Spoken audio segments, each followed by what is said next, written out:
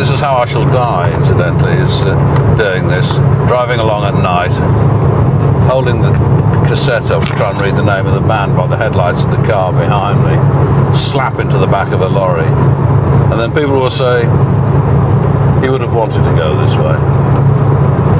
They'll be quite wrong.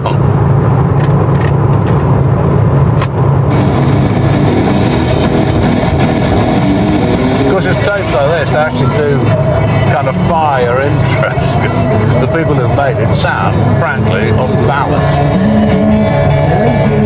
We need more of that.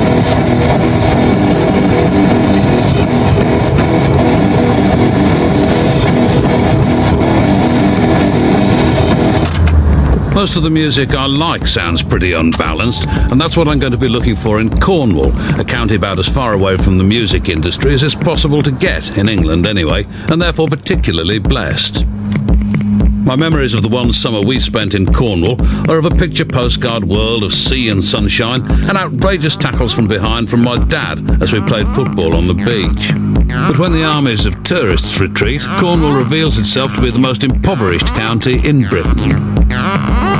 Far away from the coast and bypassed by visitors, towns like Redruth and Camborne are isolated and economically destitute. In a county which relies on six frenzied weeks of tourism a year, they have nothing. Here, there is high unemployment and few opportunities for young people.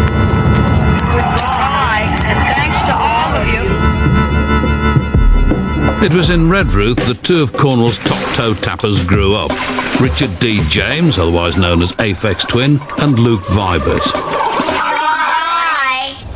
This isn't at all what I, I mean, I hadn't, hadn't really imagined anything, but. So what's that, what's that bit there? That's where put the decks.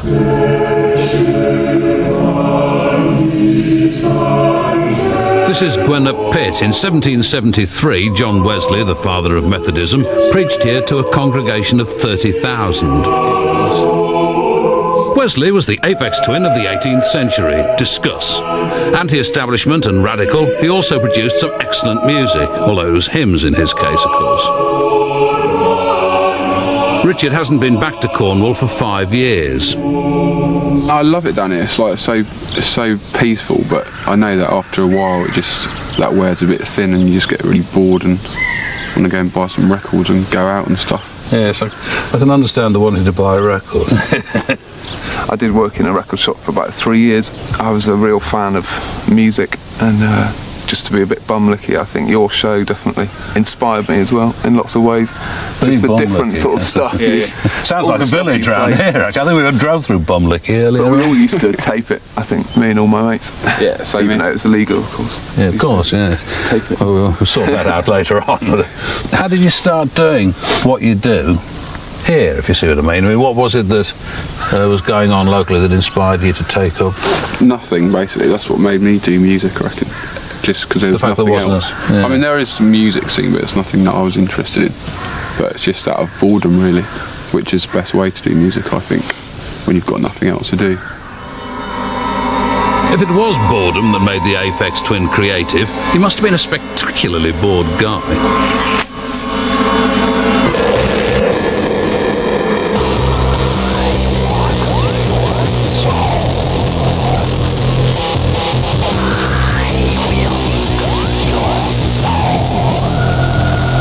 Despite his maverick status within the music industry, his record sales in the UK have nearly hit the half million mark, and he's shifting units in America and Japan as well.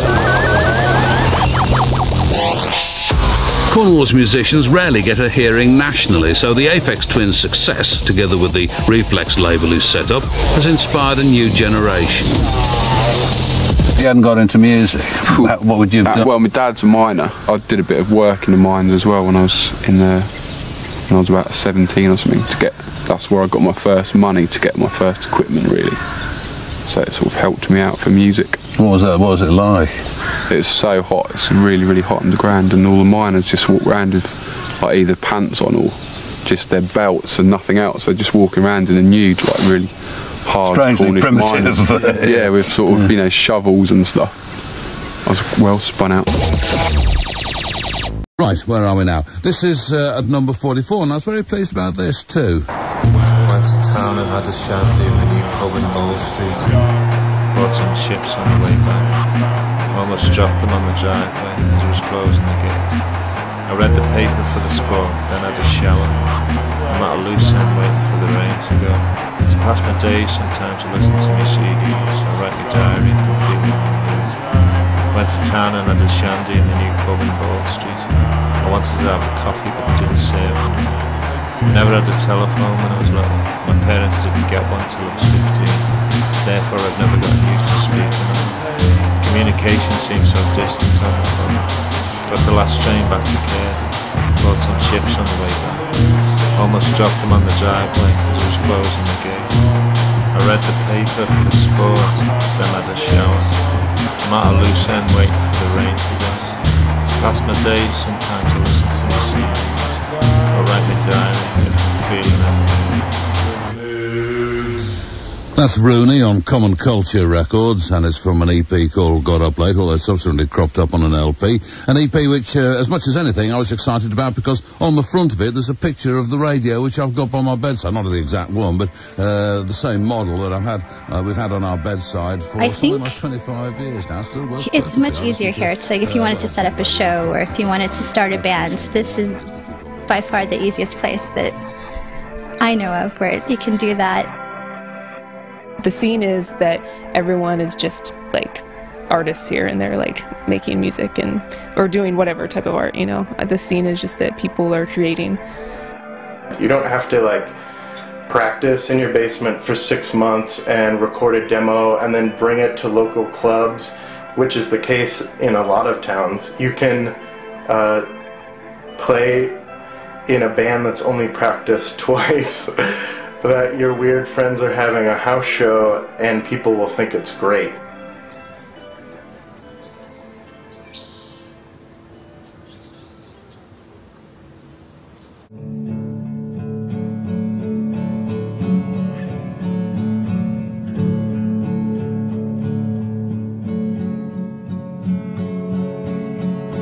I've known Honey, uh, who helped start Red Summer, for a long time. I think we've supported each other. She supported me doing art and stuff, definitely, by giving me a space to do art. And um, we've played music together a little bit. The store's like a, I think it's, a, it's just a collective of ladies that uh, all uh, were buying and selling vintage and used clothing, and um, some of their friends also selling records here. So it's sort of a sort of them working all together, selling their wares. I got started playing music for a Grouper. Just uh, I had Wurlitzer keyboards for years and a four track, and I just I don't know. I just finally figured out how to use them. Doing a song live is pretty different than doing it on recording. I have been using tape collage in order to get some of the different layers live. And also, I use a loop pedal for vocals live, uh, which I don't do with recording usually. The times I'm thinking of doing music are like times where I would feel down or something.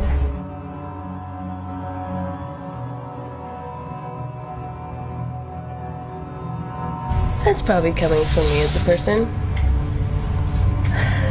or from where the impulse to make music is coming from.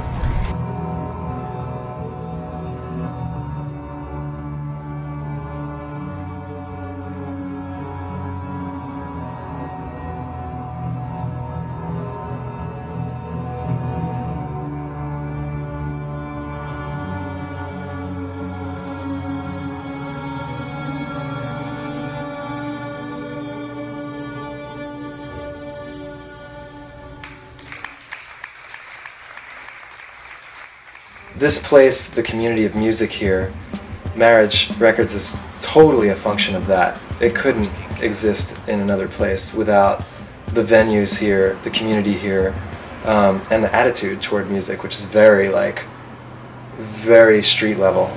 Marriage? Well, it's in the name. It's a community before it's a business. As a kind of a blueprint for creating a label that's around a community or a group of friends first and foremost before it's around like hip what's hyped right now what's you know let's catch this band as they're blowing up so we can make some money and stay cool and it's not like a cool cool search hmm. I'm from LA where everybody, you know, is a rapper or an actress or something like that. So to come here, just 1,500 miles away, was like, this is big. Now now I'm into whole other genres of music that I probably wouldn't have been into.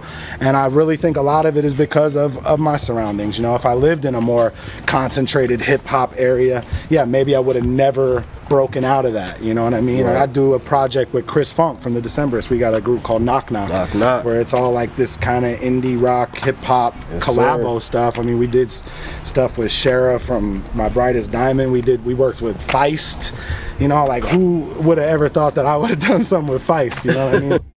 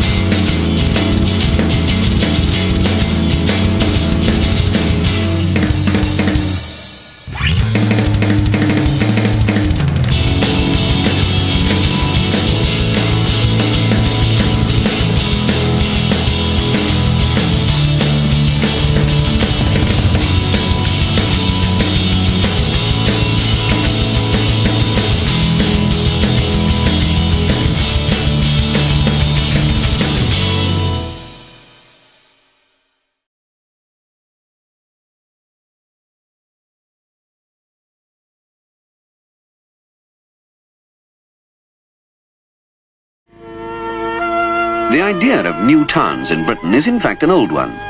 In the 13th century, King Edward I was looking for growth points. In 1515, Sir Thomas More in his Utopia described 54 new towns, which would have been a planner's paradise had they come to be.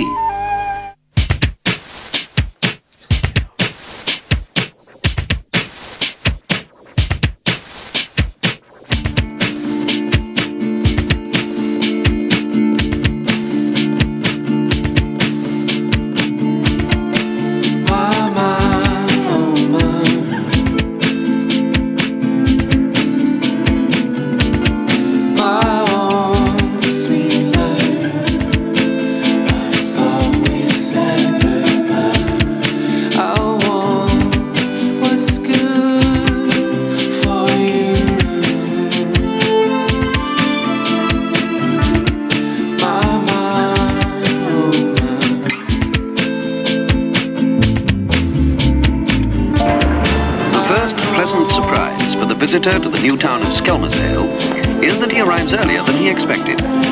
That doesn't surprise the people who built Skelmersdale, though. They planned it that way. A development corporation was formed in 1962 and charged with the enormous job of building a whole new community. I asked Dick Phelps, the general manager of the Development Corporation, what was the most important thing to note about the new town? The town is being built for people, and we've got to keep their needs absolutely in the forefront of our thinking all the time. They're sometimes confused by the luxury of a pleasant environment and houses built up to and often well beyond Parker Morris standards. Sie kommen daher, als seien sie unterwegs zum nächsten Coup. Tower Hill in Kirkby ist ihr Revier. Das Hauptquartier haben sie in den Hochhausruinen aufgeschlagen, dort, wo früher ein paar tausend Menschen lebten.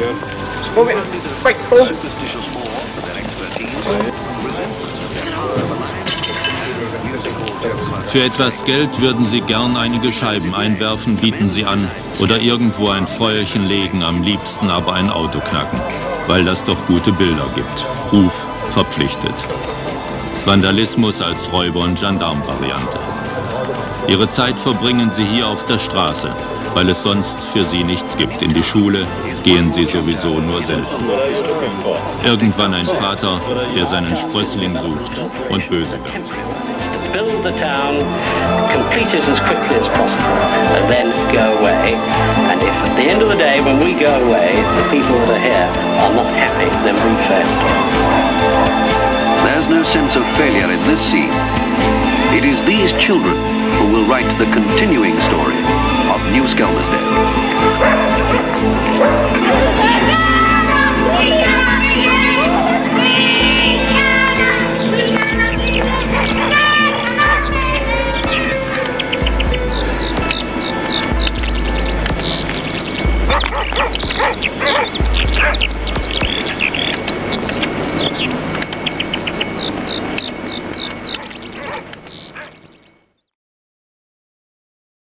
Really, high tech is the aesthetic crest of a new wave of indie underground music fans whose culture is almost entirely based online. These are people in their late teens, early 20s.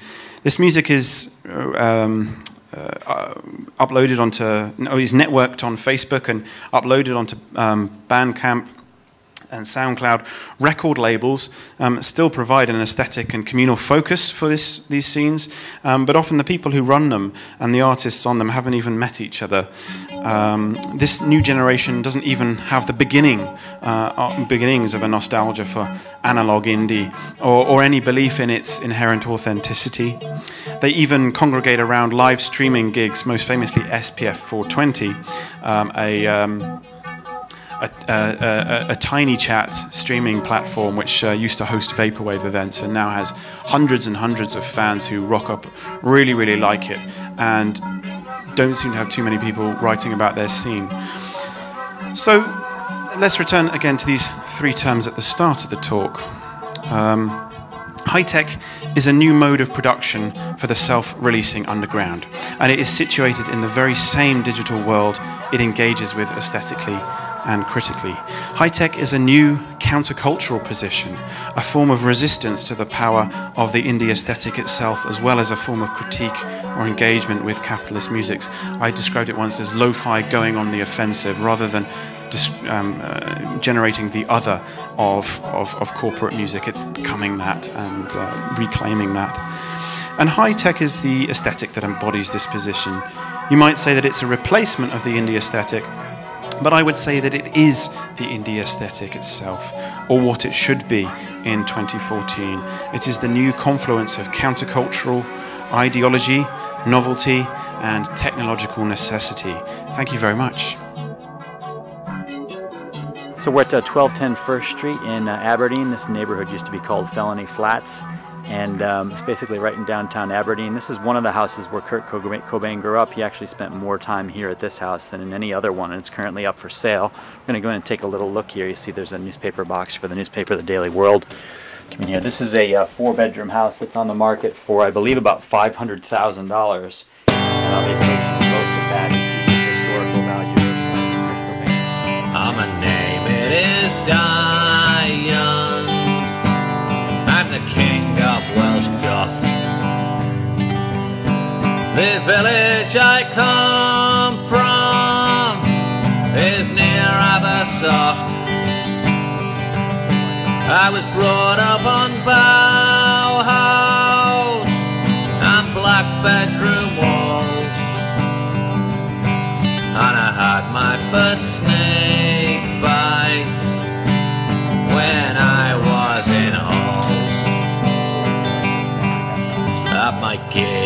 in Butlins. The redcoats complained. They tried to remove me. The bottles they rained. But for the first time in history,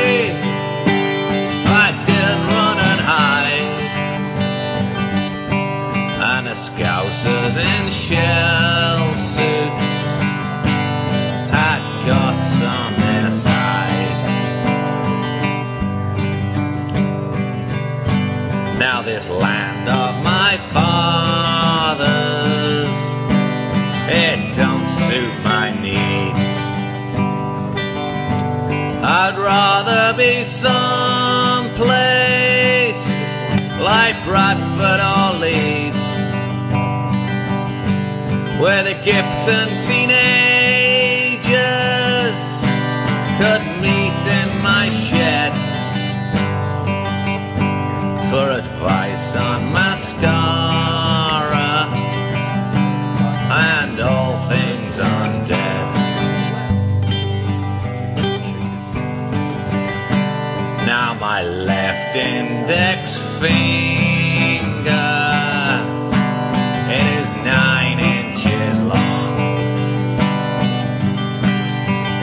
hovering over a world that's gone wrong.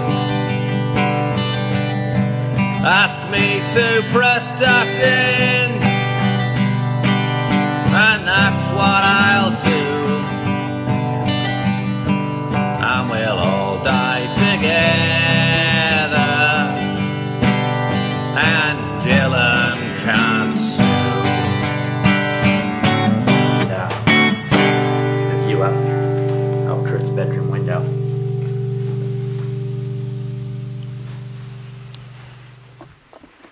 So, um, not sure who will buy this place, but there is there are a couple of entrepreneurs in Portland who are talking about buying it and turning it into a uh, into a museum. So we'll see whether that comes to pass.